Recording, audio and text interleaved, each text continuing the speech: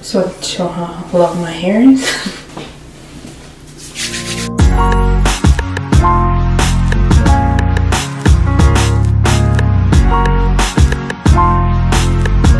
What's up YouTube? So now I'm gonna be doing my nighttime routine.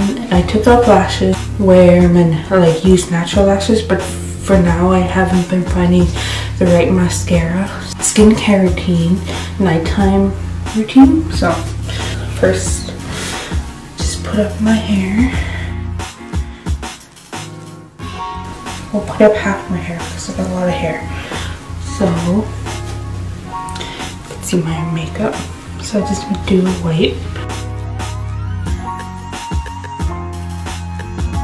me, it's also satisfying to put on makeup and then take it off at the end of the day. And I just roughly wipe everything off just to try to get most off before I do like skin stuff. The first wipe I was taking like up because it's just too soaked with makeup, but the second one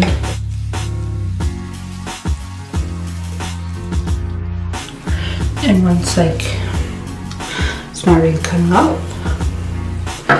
I'm still using the Tatcha Deep Cleanse. I also use the my other one, but for this one, um, I put it on my hand first. Usually I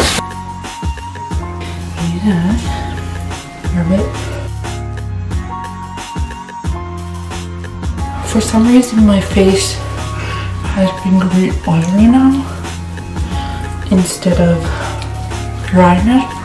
Well my face still gets really dry but for some reason my cheeks around here have been getting oily so you can see some blemishes there and I just keep rubbing it into my skin.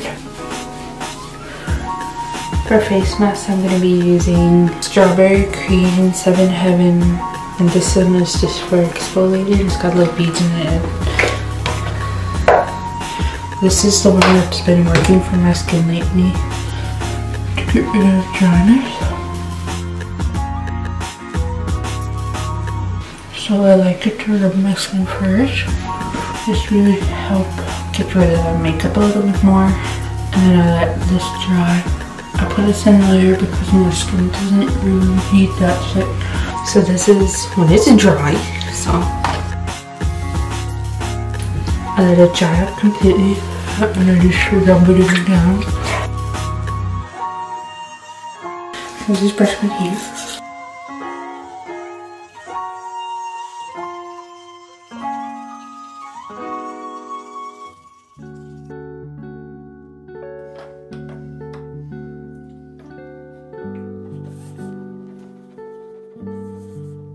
I love this.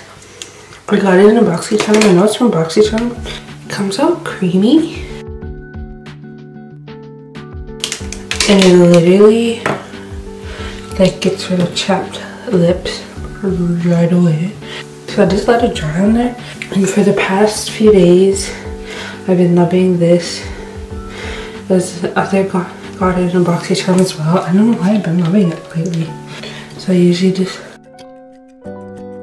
rub the stuff on the outside of the thing. I know you usually two drops, but it just nourishes my skin so much I'm kind of really loving it. I know you can't see, but I need to find a way, I need to find something to hold my camera up, so.